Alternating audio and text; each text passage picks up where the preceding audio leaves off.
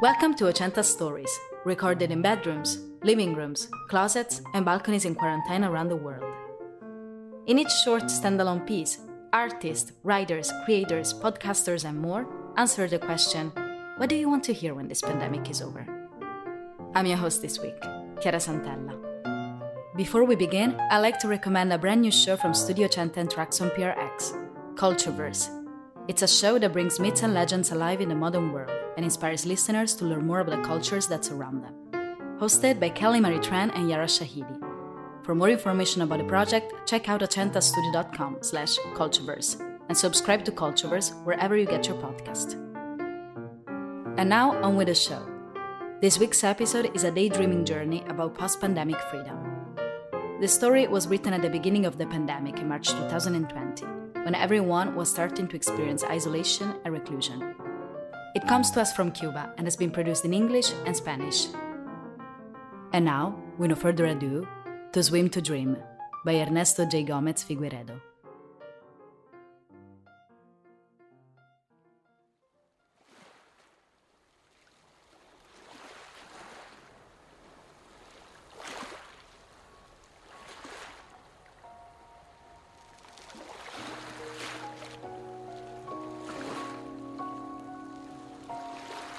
Being born on an island generates an involuntary and complex relationship with the sea. It's a captivating endless thing, the ocean. These days of confinement have made me think a lot about the sea, how close it is, and yet so far. Even though I can still see it, the shore seems further away in time. It's a feeling that unites us all in the world right now we all feel like we're being held captive on an island, dreaming of what's beyond the horizon.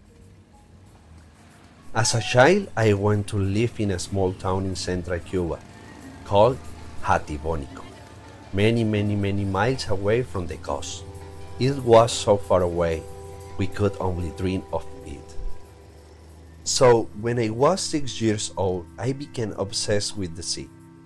I can't remember what sparked that curiosity, but I can recall that all of a sudden. It was all I could think about. I want to know everything about it. I begged my parents to take me, but they always say no. One day I heard about a man who knew a woman who had seen the sea. I found out that this man lived right next to the childhood nursery it was in. So I decide to go for my destiny, but I have to be patient and wait till everyone was asleep. As usual, Auntie Alicia was out first. That night, I woke up my best friends, Veronica, Pili, and Pedro. Together, we were invincible. The grown ups called us the Musketeers. Every true adventure begins when heart, joy, and reason follow dreams by the roads of the strange, hoping to find answers.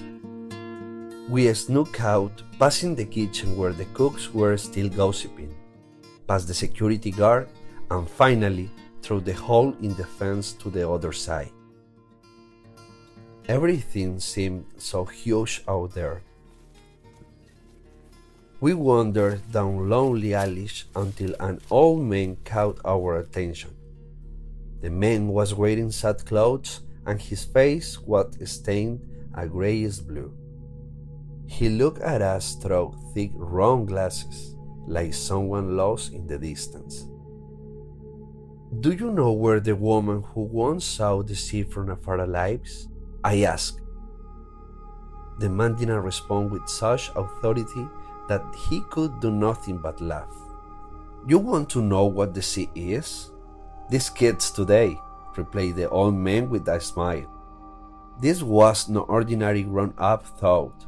An ordinary grown up would have forced us to go back the way we came. But the old man saw perhaps something in our hopeful eyes that made him want to help us. So he took us to see her on his bicycle. Pedro and Pili sat on the back basket, and Veronica and me sat up front. With the wine of the road in our little faces and behind our backs, we were going into the unknown. And then everything stops suddenly. I see her as soon as my eyes follow her. I know she is the woman who had once seen the sea. She was different from everyone I had ever known in my short life. She was a daydreamer. My little heart was beating so fast we could see the sea on her face, hear the sounds of the ocean through her voice. She was watering flowers in a garden when we arrived. The men greeted her from afar and said, Here I leave you with these little ones, who wants you to talk to them about the sea. We say nothing for a while. We were so nervous.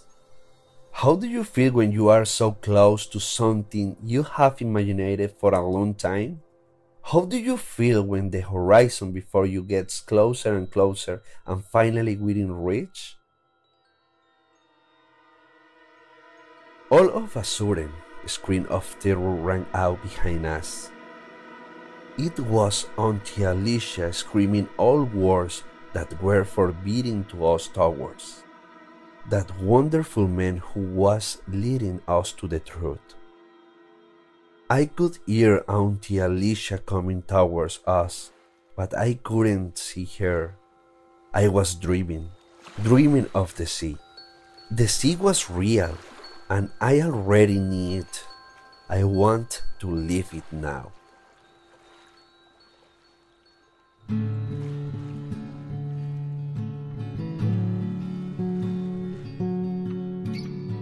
But little by little, I was separated from that beautiful face that, surprised, observed the scene. We never did get to speak with her. I'll be honest, I'd cry, I cry a lot.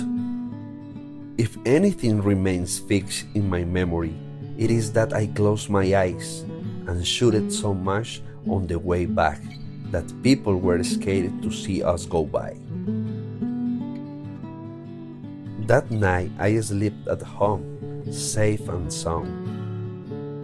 When we returned to the nursery the next day, it was no longer Aunt Alicia who welcomed us to the door, but another woman.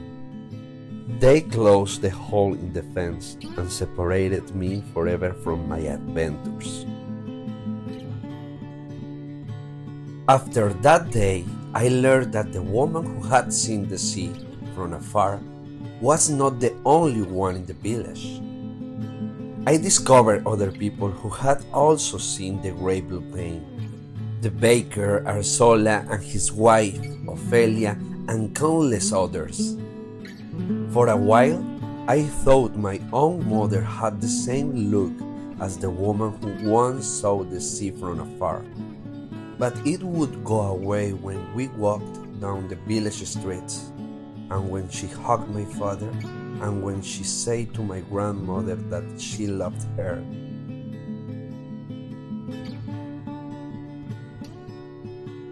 Come to think of it, she only really looked like that when she was reading. Some time passed, and we talked about it less and less.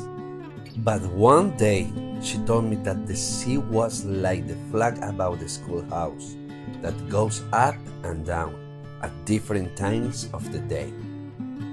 She said it was dangerous, but beautiful, and when you talk about it, your mouth tastes salty. Mm. I didn't know what to say. She continued, I knew it well. In fact, once I lived on its shores and in its depths. It turns out my mother comes from the sea. She had to leave that realm and she could never tell me why. All I know is she promised never to think about it again. The day I finally saw the sea, I thought of the good old man, of the woman he led me to meet, and I thought about my mom. That day I wasn't as happy as I had imagined. The sea is just water. I had been imagining what that sublime moment would be life for as long as I could remember. From then on, I got used to thinking about life and death. Strange, because children don't know anything about death. But many years later, I understood that to be dead is a lot like not believing in the sea and its magic.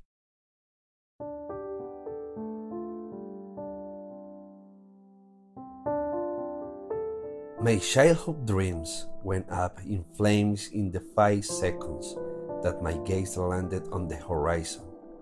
The reality was too simple. It lost its wonder. I felt dead. Today I see the immense sea in front of me every morning, reminding me that I am its prisoner. The sea surrounds me now during this lockdown. Its image makes me think of freedom, so out of reach. When the lockdown is over, I'm going to go to the coast. I'm going to listen the sound of the waves more closely. I will feel the breeze of the ocean and I will learn to live once again.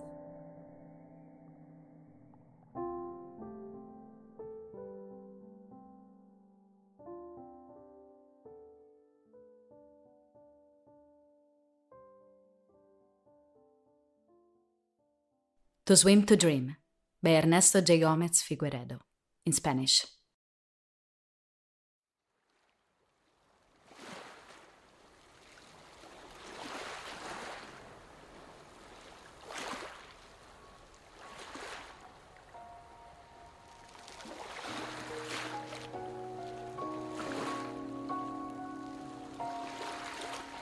Nacer en una isla genera una involuntaria y compleja relación con el mar, pues a la vez que provee y salva, te cautiva. Estos días de confinamiento me han hecho pensar mucho en el mar, en lo cerca que está y al mismo tiempo tan inalcanzable. Es un sentimiento que nos une a todos en el mundo, precisamente por la sensación de estar cautivo dentro de una isla. Me separaron del mar sin ni siquiera haberlo conocido. Me llevaron lejos de él, hacia un pequeño pueblo al centro del país llamado Jatibonico, donde ninguna frontera toca el océano. Cuando tenía seis años se manifestó en mí una idea fija, conocer el mar. Recuerdo que de repente era en lo único que podía pensar. En una ocasión me presentaron al niño más grande que jamás había visto. Él afirmaba conocer a una persona que sabía dónde vivía una mujer que había visto de lejos el mar. Cuando tuve la oportunidad, emprendí la titánica tarea de escaparme por las altas rejas del círculo infantil municipal llamado Pequeños Cosmonautas, pues cerca de allí el extraño señor arreglaba esos aparatos en los que vive el fuego que años después aprendí que se llamaban fosforeras. Al principio, como era de esperar, tuve miedo. Tendría que guardar a la hora de dormir, después de nuestro tiempo de jugar. Entre tanto, y mientras todos dormían, desperté a mis mosqueteros, Verónica, Pili y Pedro. Juntos éramos invencibles. Éramos llamados así por los vecinos, por las travesuras propias de un niño. Toda verdadera aventura comienza cuando el corazón, la alegría y la razón siguen a los sueños por las calzadas de lo extraño, con la esperanza de encontrar algunas respuestas a sus inquietudes más profundas. Todo estaba decidido. Nada podría resultar de otra manera a la que habíamos planeado por mucho tiempo en lo que duraba el almuerzo. Como de costumbre, la tía Alicia quedó rendida mucho antes que los niños, algo que hacía nuestra misión mucho más sencilla. Como de costumbre, Burlamos primero a las cocineras que murmuraban sobre que la hija de alguien del pueblo estaba embarazada, luego al guardia del huerto y después al agujero de la cerca que nos dividía del mundo. Era todo muy grande. Éramos cuatro pequeñitos despojando lo desconocido, con la pasión de grandes conquistadores